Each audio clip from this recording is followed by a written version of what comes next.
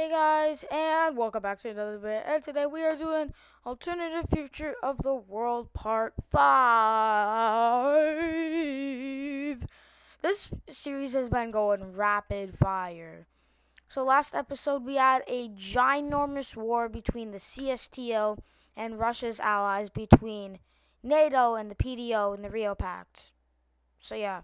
Um, let's just go over a little bit. I'm not going to go over everything go watch the other episode. But yeah, um, we saw Iran lose land in um, um, in the Middle East. We saw Ukraine get their entire thingy back. We saw Finland get um land out of Russia. We saw um Hong Xinjiang, I think it is, getting annexed by the Republic of China. We have the Republic of China taking all this land over here. And yeah, if you want to see the more updated borders, go watch the other episode. So yeah, um, let's just get straight into our first thing, thing, thong. Whoa, um, European Union um can be found in Europe. So yeah, that's pretty crazy. We have the European Union actually becoming a country. We can see some other countries join this, like the Czech Republic and that's basically it. But yeah, the European Union is starting to form and other countries will start to join it. But yeah, staying over here in Europe, we're actually going to have um Spain. Hello Spain, how you doing? So yeah, Spain is going to have um a little civil war. So yeah, we're going to have Catalonia um fight for independence. Oh my god. So yeah, um, Spain had a civil war in the 20th century. Now they're having one in the 21st century. So yeah, let's get straight into the civil war. So yeah, this group up in the north, um, I'm just gonna call it the Lime Group. The Lime Group pushes around. It actually captures a lot of area of Spain. Spain was not ready for this. Well, they kind of were because it's a civil war, but yeah, Catalonia can't really push out as much as they would like to. I mean, there is a lot of resistance in that region, so they don't really push out that far, but yeah. Over here, we can see that this group actually starts to get pushed back to its um original borders, and yeah, and also Catalonia gets pushed back because, you know, Spain, the Spanish government really doesn't want Catalonia breaking away. But yeah, we also have um the Lime Group actually getting knocked off the map. So yeah, no more Lime Group for you. And Catalonia took that to their advantage and started expanding. And that's um basically all of Catalonia. So yeah, they go down um and do that. And they make a spearhead to capture Madrid. And they capture Madrid and it's basically all over pockets of like people saying, "Hey, Catalonia should exist," starts popping up and saying, "Hey, yeah, yeah, yeah, yeah, yeah." So yeah, um, then cat the Catalonian peoples um pick up the speed, and it starts going really, really fast until Spain can't handle it. It's overwhelming, and the Spanish government surrenders. So yeah, let's take a look at this peace treaty.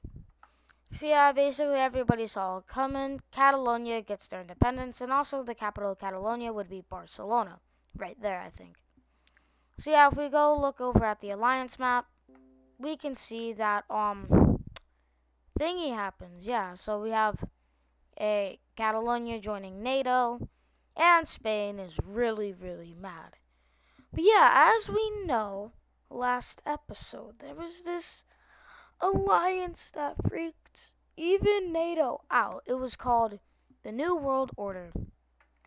And well, that's going to take into effect with um um Belarus joining the New World Order and Iran joining the New World Order. So is Pakistan. So yeah, they might not be the strongest, but they are a thing. Another um country joining the New World Order. Is Serbia for some reason. They don't know why, but they just want to join the New World Order because NATO was threatening them. They said if they would invade Kosovo, they would activate Article 5, even though, yeah. So, yeah, they joined the New World Order. But now we're going to see a new conflict happening. Um, we see, um, big conflict, actually. We see Russia declare war on Kazakhstan. Yeah, so um, NATO did say that any conflict that they get involved with, um, they would they every any conflict that they like if they declare war, they would get involved in the conflict. That policy is kind of outdated, and they push into the country with no resistance at all. I mean, it's just Kazakhstan. Russia is probably like the third strongest country now, but like, yeah, um, they're still pushing through. Kazakhstan stands no Kazakhstan stands no chance against the Russians, and they wipe out this half, and then this half surrenders. So, um, it's basically a simple peace treaty. Russia annexes the entire of Kazakhstan. So yeah, that's pretty cool for the Russians. Continuing their campaign down south, they declare war on Uzbekistan, Kyrgyzstan, and Tajikistan.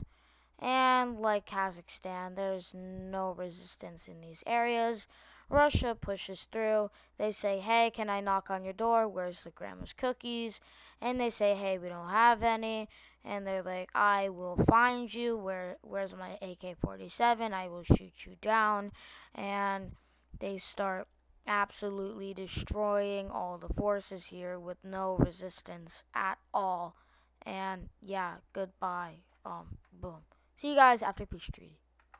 Looking at this peace treaty here, we can see that um all these other guys get annexed, and Kyrgyzstan, no, that's Tajikistan, gets a little bit of land taken out of it. So yeah, you can kind of see the resemblance to the Soviet Union here, but they're nowhere near to the Soviet Union.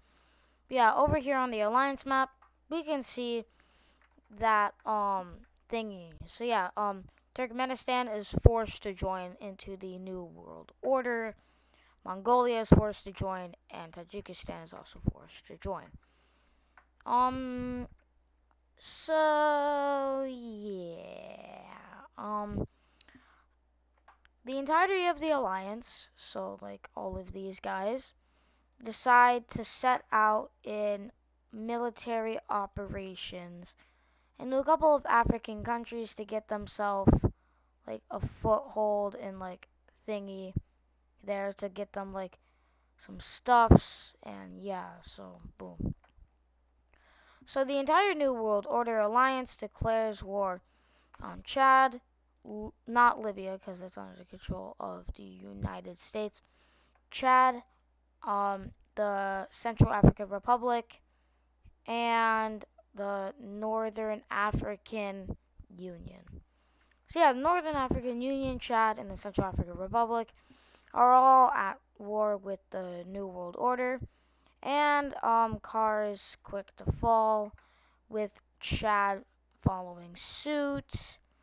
But then we do see the African Union pulling out some a little resistance um to the things, but you know it's still the New World Order. They have Russia and Iran and all those guys. They have been weakened by the um thingies, but yeah, you know it's fine. Um, they push in and we do see a civil war happening. Yeah. Um not all of these guys like the um idea of Islam. So um Christianity groups rise up over here on the coast. And that really helps out the um, New World Order to invade the um, North African Union. And yeah, the North African Union and the rebels, um, not the North, um, the um, New World Order and the North African Union decide to split the um, North African Union um, like this. So yeah, see you guys after the peace treaty. Looking at the peace treaty here, we can see on the surface, it looks like nothing really happens. But if we look at the alliance map, that was a weird cup. Um, we could see that um the New World Order has three new members. So yeah. Um that just happened. And yeah, so that's cool. Um, but we do see the um newly formed West. Um, well, I don't know what this thing would be. It would just be the African. I don't know. Um, but yeah. Um, this thing declares war on. I forgot the name of these countries. Don't yell at me. Yeah, so they declare war on these guys. I know one is Senegal, one is the Gambia, and one is dead. Um, wait, the colors are swapped. You know, like one, one day, one singular day, I will not mess up a video. It will be perfect. It will be the best day on planet Earth. And when that day comes, invasion, um, thing, yeah, so cool. Uh, like I said, one day I will never mess up a video. So yeah, um, Senegal falls really easy, Gambia falls, and then, yeah, it just all falls. Take a look at the peace treaty here. We can see that the, um, yeah, countries don't exist anymore. So yeah, um, so uh, here we are back on the alliance map, and um, we do see um a thing happening. Turkey surprisingly leaves NATO. They don't need it anymore. It's nobody's really a big threat to them. Um, not yet, but yeah. Um, it's not really nobody's really a big threat, but as soon as they left, um, bro, yo, let the man chill. Come on now. Okay, well, here we go. Um, all the African troops push up through Israelstein and get a pretty good um um um foothold over this region in Turkey. Um, we see all the Asian countries over here pushing through Iran, and it's going pretty good. Um, Azerbaijan also joins this war, and um, Oh, I just can't speak. Russia declares war on Georgia, taking them out of the war, and Azerbaijan might not last. Um, wait. No, wait, they joined on the side of. Okay, so yeah, NATO doesn't get activated. So yeah, there goes Azerbaijan, and it's over for Turkey as they squeeze in it's basically done for. It's over. Ankara gets captured. And, wow, the world is shocked. They just took down three countries in one go. So all these countries banded together looks like a really strong fit for each other. So yeah, let's take a look at the peace treaty. Looking at the peace treaty here, we can see that Turkey basically collapsed. We can see that um, Iran took basically all of um, Iraq and plus a little bit more. Syria and Lebanon got released, and also the rest of Jordan got given over to Israel. We have a new government over here, like in the Kurdish area of um, Russia. Not Russia, Turkey. But speaking of Russia, they annexed the Caucasus and also a little bit of Iran because, you know, um, um, Azerbaijan had a little bit of Iran, so they get like that stuff. Um, so yeah. Um, now looking over at the alliance map, we can see it went from Western dominance in the Middle East to um, Eastern dominance in the Middle East.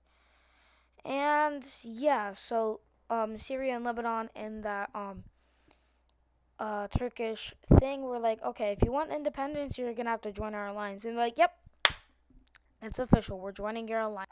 Well, uh, that's that's very very interesting.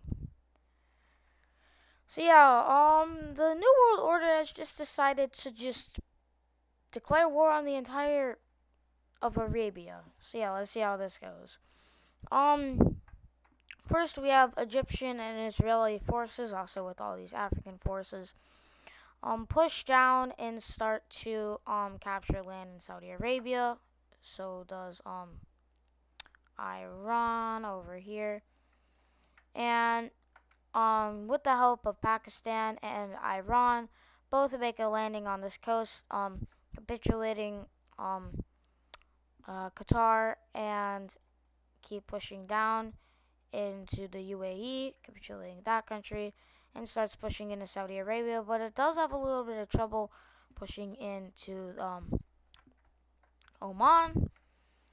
And Saudi Arabia is really not liking this. They are a very powerful country, but you know, it's just the numbers.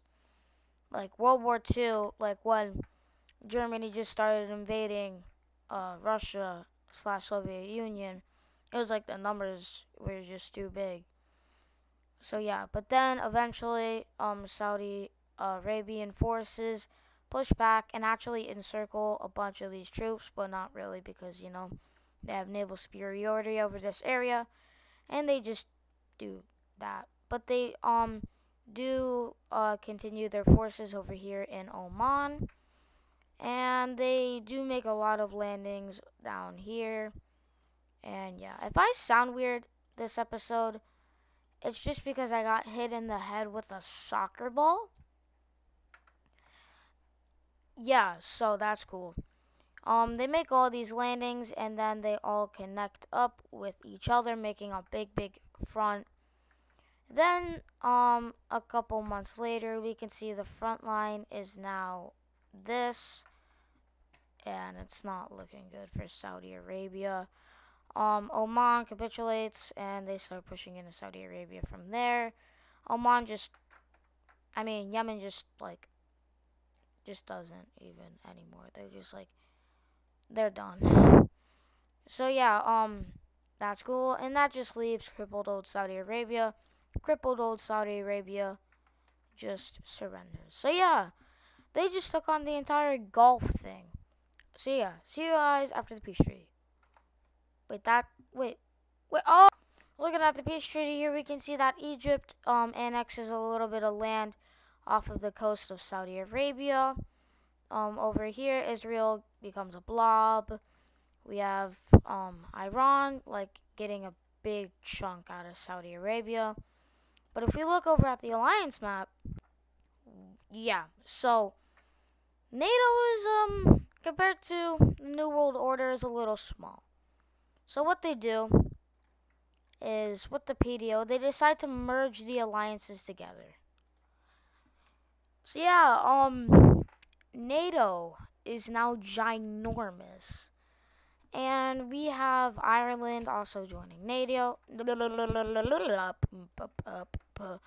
And we also have Bosnia Herzegovina. But we do have a big thing happening. Serbia gets kicked out of the New World Order. And in rage, um, Serbia decides to declare war on every neighboring country around it in rage. I'll spare you the pain. Looking at the treaty here, we can see on the surface, it looks like nothing happens, but yeah. And also, um, Montenegro and Kosovo both joins, and Kosovo gets their full independence. So yeah, guys, I am gonna end this video here. I hope you guys liked it, and I will see. You. Wait, you know what?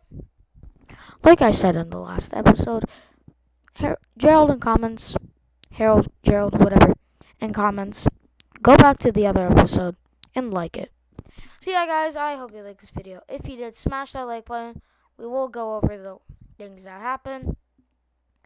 Um, three words. New World Order. Two words has expanded. So yeah, guys, I hope you liked this video. If you did, smash that like button, and I will see you all next time. And Talk!